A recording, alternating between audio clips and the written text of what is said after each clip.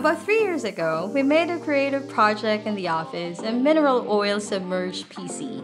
Thanks for liking our project, fellow hardcore PC enthusiasts. We will answer all your inquiries and show you how we rebuild and update our mineral oil PC right here in this video. Stay tuned!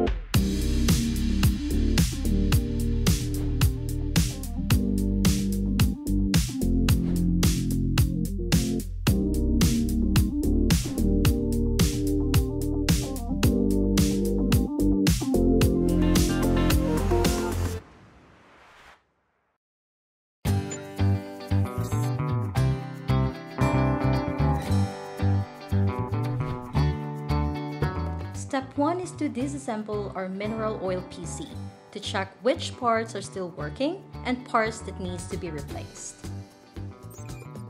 Drain the oil from the tank using a plastic siphon pump and take out the PC parts and decorations. Now that the tank is empty, we can take a better look of the tank if it has any damage our tank is as good as new. See that guys? We heard all of your concerns from our last video in building this mineral oil PC. We will answer all your questions one by one while we are rebuilding. Let's start with the first question coming from Daryl Coy.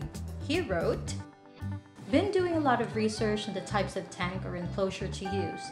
Could a glass fish aquarium be used? Or will the mineral oil degrade the corners and make it leak, or even worse, fall apart? Your build looks awesome by the way, just not quite brave enough to do mine yet. Really want something original, have plenty of ideas. Hi Daryl!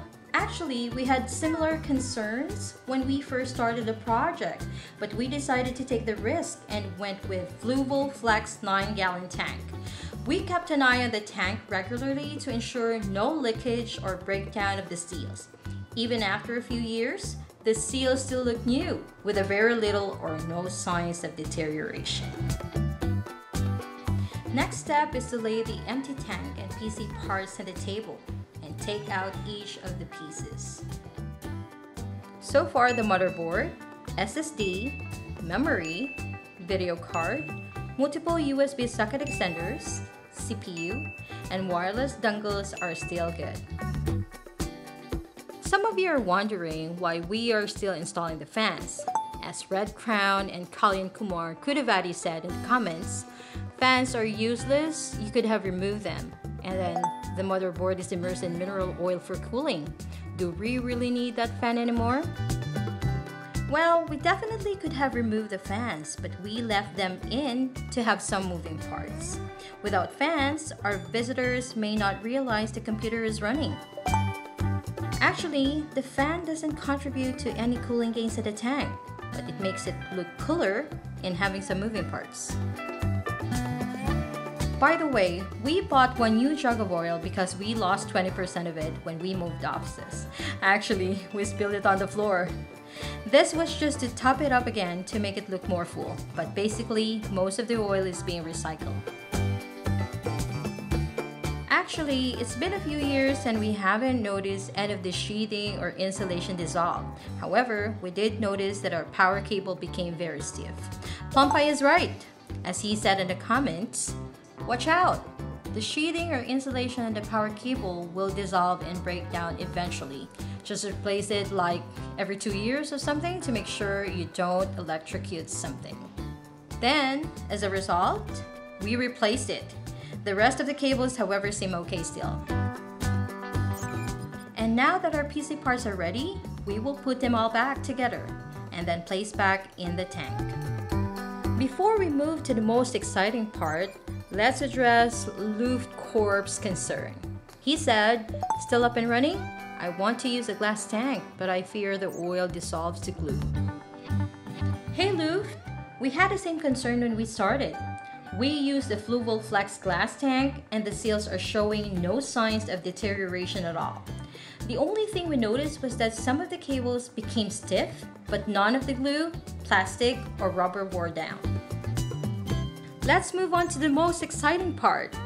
Time to redecorate the tank, but make sure to use a heavy duty glue. Since we're done with the redecoration, we will now pour our mineral oil.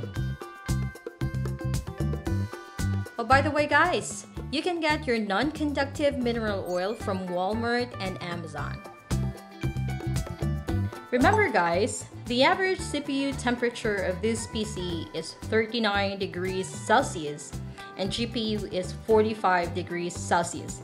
And imagine, this is without a radiator.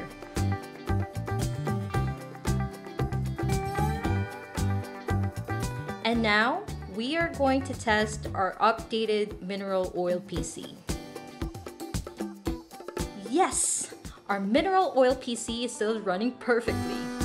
Okay guys, thanks for watching this video. Subscribe for more tech tips in this channel. We look forward to your comments and suggestions of what you want us to try next. Bye!